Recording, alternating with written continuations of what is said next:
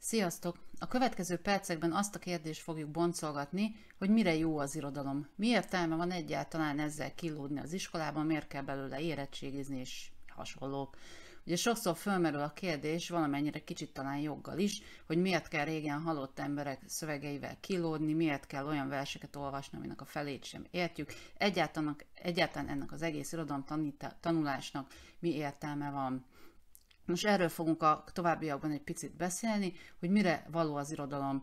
Annyit talán elárulhatok így előjáróban, hogyha, hogyha nehézséget jelent és unalmas irodalmat tanulni az iskolában, az nem feltétlenül az irodalomnak, sőt egyáltalán nem az irodalomnak a hibája, hanem sokkal inkább annak a, az iskola rendszernek, meg ennek az egész környezetnek, ami minket körülvesz ebben az oktatási rendszerben. De ez egy kicsit túl messzire vezetne, úgyhogy egyelőre maradjunk annál, hogy mégis mi az, hogy irodalom, mire jó, hogyan jött létre, és egyáltalán miért kell nekünk ezzel foglalkozni. Mielőtt konkrétan az irodalomra rátérünk, érdemes egy pár szót beszélni a művészetekről általában, hogy honnan erednek a művészetek, mi az értelmük, miért jöttek létre.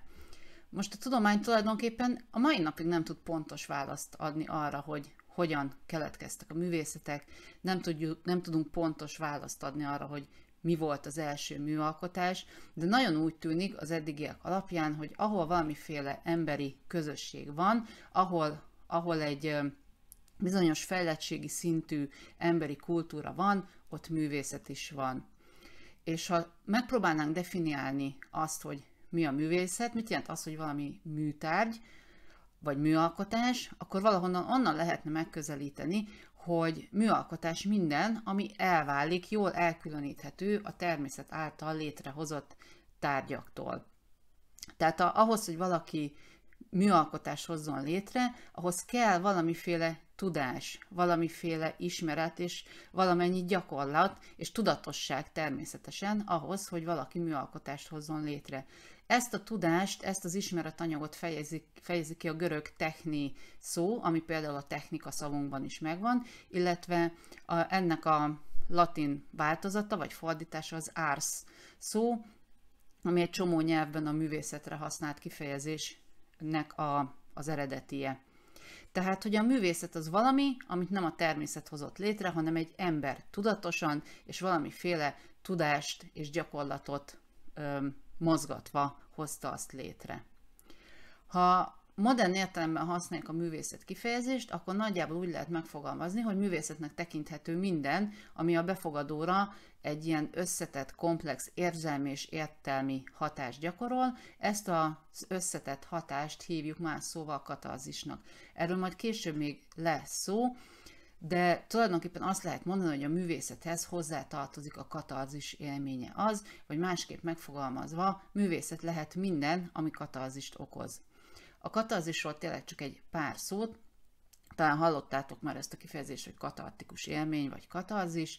Ez egy jókori eredetű kifejezés, Arisztotelész használta a művészetekkel kapcsolatban, és a görög katarzis szó eredetileg megtisztulást jelent. És Arisztotelész arról írt a Poetika című művében, hogy a, a tragédia művészetnek, a, a drámának az egyik legfontosabb hozadéka ez a katarzis, ami nála még egy sokkal fizikaibb fogalom, tehát tulajdonképpen a szervezetnek, a testnek a mérgektől, a rossz anyagoktól való megtisztulását jelenti eredetileg a katarzis. Ma a katarzis szót egy jóval elvontabb értelemben használjuk, nagyjából azt hívjuk katarzisnak, amikor valamilyen műalkotás egy ilyen nagyon erős érzelmi, értelmi hatást gyakorol ránk, megváltoztatja az életünket, tehát ugye egy ilyen, egy ilyen jó értelemben, de egy nagyon-nagyon megrázó vagy sok szempontból megrázó élmény a katarzis. Remélem, hogy mindannyian éltetek már át katarzis, mert a katarzis az építi a személyiséget. Tehát amikor azt érzed akár egy dalnál, egy festménynél, egy épületben állva, hogy hűha, ez most téged egy picit megváltoztatott, ezentúl egy kicsit máshogy éled az életedet, na az a katarzis, és ez jó, mert épült tőle az ember. Tehát visszatérve még a művészetekre egy kicsit, ott lehet még talán a művészetnek a gyökerét keresni, hogy valamiféle eszköze a világ megismerésének, tehát a művészet valahogy úgy jött létre, hogy az emberi közösségek próbálták minél inkább megismerni a körülöttük lévő világot, és megpróbálták befolyásolni is ezt a körülöttük lévő világot, tehát szerették volna például, ha sikeres a vadászat, ha jó a termés, hogyha nem kell éhezniük, ha nincsen asszály, stb. stb. És ezeknek a Hát erre, hogy a, hogy a körülöttük lévő világot befolyásolják, ezekre jöttek létre természetesen a különböző vallások, és ezeknek a vallásoknak a különböző rituáléi is. És a, úgy tűnik, hogy a művészeteknek a gyökere valahol ezeknél a ritusoknál van, és ha megnézzük a leghíresebb és legrégibb műalkotásokat, a különböző barlangrajzokat, vagy a Willendorfi Vénuszt, akkor a tudomány mai álláspontja szerint ezeket is minden valószínűség szerint ilyen rituálékhoz használták, tehát például a Willendorfi Vénusz valamiféle termékenységi rituálénak a, az eszközei lehet, eszköze lehetett.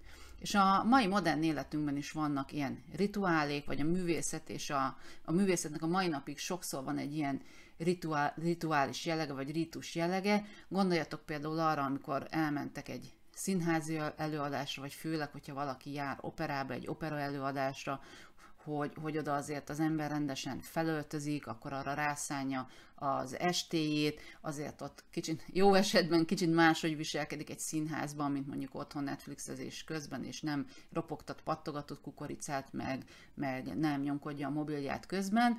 Tehát a mai napig is meg van egy ilyen rituáli jellege a művészetnek sokszor, vagy gondoljatok például a különböző révpartikra, vagy egyéb ilyen közös zenei, uh, szubkulturális eseményre, ahol nagyon komoly, nagyon komoly ritusok, rituálek is kialakulnak, és akik ebben benne vannak, azok tudják, hogy mindig egy adott rend szerint követik egymást az események. Na, tehát a mai napig vannak ritusaink, és a mai napig van a művészetnek egy ilyen, egy ilyen rituális jellege is. De arra a kérdésre a választ, hogy mikor és hogyan alakult ki a művészet, tulajdonképpen nem tudjuk. Ja, és igen, és az irodalom pedig egy olyan művészeti ág, ettől különleges is, hogy, hogy az anyaga az a nyelv. Tehát nem egy kézzel fogható anyaggal dolgozik, mint mondjuk a szobrászat, vagy a festészet, vagy a képzőművészet, hanem, hanem egy jóval elvontabb anyaga van a zenéhez hasonlóan. Tehát amíg a zene az, az hangokkal dolgozik, a, a művész, az irodalom pedig a, a verbális nyelvvel. Na de nézzük a továbbiakban meg egy kicsit, hogy mit jelent az irodalom, most meg konkrétan a művészeti ágak közül az irodalmat kiemelve, mit jelent az irodalom az egyén számára, miért, miért hasznos az egyes embernek, miért hasznos neked, nekem irodalommal foglalkozni. Ugye az egyik legevidensebb válasz erre a kérdésre az, hogy, a, hogy az irodalom az ismeretforrás. Az irodalomról megtudhatunk információkat a világról, megtudhatunk információkat a körülöttünk lévő szűkebb és tágabb közösségről. És amitől az irodalom még nagyon jó, hogy, közvet, hogy az átélés és a fantázia segítségével közvetett információkra is szert tehetünk. Tehát azáltal is gazdagodhat a tudásunk, hogy mi magunk ugyan nem tapasztalunk meg dolgokat, viszont átéljük, elképzelhetjük ezeket. Mondok egy nagyon erőteljes példát, ahhoz, hogy elképzeld, hogy milyen lehet megölni egy embert, nem kell megölnöd egy embert, mert ha elolvasod Dostoyevsky-tól a bűn és bűnhődést, akkor ott azért nagyon mélyen beleláthatsz ennek a, a lelki oldalába. Tehát ez most egy nagyon, nagyon radikális példa, de vagy ha nem tudom, meg akarod tudni, hogy milyen egy háború, milyen csatába menni, vagy nem tudom, milyen egy farmon élni, most mondhatnék egy csomó példát, nem kell feltétlenül ezt közvetlenül megtapasztalnod, hanem az irodalmi művek segítségével ezekről nagyon sok tudást szerezhetsz. Nagyon költően megfogalmazva, a fantázia és az átélés lévén olyan világokba látogathatsz el, amelyekbe a valóságban nem tudsz. Például a időben ugye nem tudsz visszamenni, de a regények segítségével azért nagyon sok mindent megtudhatsz a múltról. Aztán itt is megjelenik a katarzis, amit már említettem, hogy a katarzis az egy nagyon fontos élmény, attól épül a személyiség, érik a személyiség, a mentális egészségünkhöz nagyon sokat hozzátesz, ha időről időre katarzis élményeket élünk át. Természetesen erre nem csak az irodalom képes, de az irodalom is egy sajátos módja ennek. Igaz, hogy manapság már jobban meg kell dolgozni ezért a katarzisért, tehát, hogy fontosabban fordítottam, fordítva akartam mondani, hogy manapság már sokkal könnyebben is hozzá lehet ilyen katarzis élményekhez jutni, hiszen gyakorlatilag a filmek, a videók révén egy sokkal könnyebben fogyasztható információ áradat vesz minket körül, és nagyon jó filmek vannak egyébként, tehát nem akarom én ezeket semmiképpen leszólni, de azért, azért érdemes ennek ellenére is időről időre szövegekkel kínlódni, és irodalmi műveket olvasva átélni ezt a katarzis, mert egészen más, hogy bocsánat, mozgatja az agyat egy olvasott szöveg, mint mondjuk egy, mint egy, mint egy film, pláne egy TikTok videó. Tehát egészen más 15 másodperc alatt megkapni azt a dopamin löketet, mint mondjuk végig olvasni egy 1200 oldalas regényt, és azt úgy tenni le, hogy hú, ez aztán nem volt semmi. Um, igen, természetesen az irodalom az egy, az egy szórakozási forma is. Itt megint ugyanazt tudom mondani, mint a katarzissal kapcsolatban, hogy vannak már sokkal könnyebben fogyasztható, szórakoztató tartalmak, mint mondjuk, mint mondjuk az irodalmi ö, művek, de mégis időről időre érdemes szövegeket olvasni, hiszen míg a, egy filmben vagy egy videóban készen kapod az információt, azt már megalkotta valaki helyetted, amíg egy regény, ha egy regényt olvasol, akkor azt neked kell összerakni fejben, azt neked kell elképzelni, neked kell összerakni a cselekményt, tulajdonképpen a saját művedet hozod létre, ha elolvasol egy regényt, és ez egy nagyon fontos skill szerintem, amit nem érdemes veszni, hagyni. Csak azért, mert időnként melós, és sok időbe telik.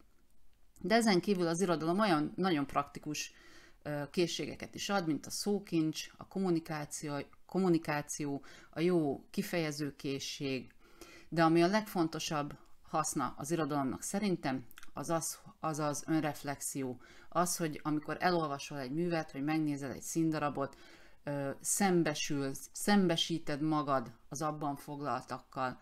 Tehát elgondolkodhatsz azon, hogy te hogyan gondolkodsz azokról a kérdésekről, amik a műben benne vannak. Mondok egy példát, megnézed a Rómeó és Júliát, azon kívül, hogy egy nagyon, a magam, egy, tulajdonképpen egy nagyon szórakoztató szerelmi történet, elgondolkodhatsz azon, hogy neked tulajdonképpen mi a fontos egy párkapcsolatban. A társadalmi státusz fontos, vagy az, hogy szeresd a másikat, elgondolkodhatsz azon, hogy te mit tudnál, mit tennél meg a szerelmedért, stb. stb. Ez jelent az önreflexió, hogy szembesíted magad az adott műben felbukkanó kérdésekkel, és ezáltal fejlődik az önismereted. Tehát én szerintem, nekem személy szerint az a véleményem, hogy ez a legnagyobb haszna az irodalomnak.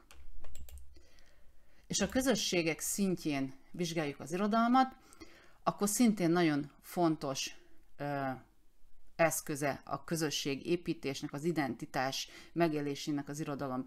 És itt a közösség alatt a legszűkebb közösségtől, tehát a családtól egészen az egész emberiségig értsétek a közösséget. Az identitás szó pedig önazonosságot jelent. Tehát az én identitásom az, ahogyan látom magam. Az én identitásom a válasz arra a kérdésre, hogy ki vagyok én. És legalább ennyi, ennyire válasz arra a kérdésre is, hogy ki nem vagyok én. És természetesen ez a közösségek szintjén is igaz. Egy nemzeti identitás az tulajdonképpen azt jelenti, hogy egy adott nemzet hogyan definiálja önmagát, hogyan különíti el önmagát a körülötte lévő más nemzetektől, hogyan helyezi el magát a világban. És ennek a nemzeti közösségi identitásnak az egyik legfontosabb közege az irodalom. És az, hogy mit, mit tekintünk fontos irodalmi műnek, melyek azok az irodalmi művek, amelyek, amelyek a mi identitásunk szempontjából kulcsfontosságúak, ezeknek az irodalmi műveknek a körét tekint, nevezzük irodalmi kánonnak. Ezzel a fogalommal is fogunk még majd sokszor találkozni. Tehát irodalmi kánon mindaz, amit fontosnak tekintünk. És amikor az iskolában irodalmat tanulunk, akkor tulajdonképpen ezt az irodalmi kánont tanuljuk. Tehát azért tanuljuk ezeket a költőket, mert azok, akik megalkották a jelenleg oktatásban érvényes irodalmi kánont, ezeket szerzőket tartották ebből a szempontból fontosnak. Az, hogy ez most mennyire idejét múlt, mennyire nem, erről megint csak lehetne vitatkozni, de az a lényeg, hogy egy hogy az irodalom az egy nagyon fontos közösségi identitást hordozó közeg. De ne felejtsük el azt sem, hogy az irodalom ugyanakkor egy tudományág is. Az irodalomtudomány a többi humántudományhoz, tehát a történelemtudományhoz, a politológiához, a szociológiához hasonlóan az emberről, az emberi társadalmakról alkot ismereteket, tehát az emberi társadalmak leírásának egyik módja az irodalomtudomány. Egy kicsit közvetettebb módja nyilván, mint mondjuk a, a történettudomány, de akkor is egy, az irodalom az egy tudományág, és azért tanulunk gimnáziumban irodalmat és irodalomtudományt, és azért érettségizünk belőle, mert ez fontos eszköze az emberi kultúrának. És ugye az irodalom, meg az irodalmi kanonizáció az nagyon sokszor bizony egy, tulajdonképpen egy hatalmi eszköz is. Tehát gondoljatok csak bele, hogy a, hogy a diktatórikus hatalmaknak az egyik egyik legelső eszközük, amihez nyúlnak, az, hogy betiltanak irodalmi műveket. Tehát, hogy, hogy ezért is nagyon fontos irodalommal foglalkozni, irodalmi művekről, műveket olvasni, és azokról gondolkodni, hogy ezeket a hatalmi mechanizmusokat is tisztán lássuk, hogy mi az, amit lehet olvasni, mi az, amit nem lehet olvasni, mi az, amit betiltanak, mi az, amit hasznosnak találnak, stb. stb. Tehát a kanonizáció az bizony egy hatalmi eszköz is, de ezekről is lesz szó majd még később. Röviden ennyi lett volna a válasz arra, hogy mire jó az irodalom. Remélem sikerült egy kicsit meggyőznöm benneteket, hogy az irodalom, irodalom tanulásnak van értelme. Olvassatok könyveket, sziasztok!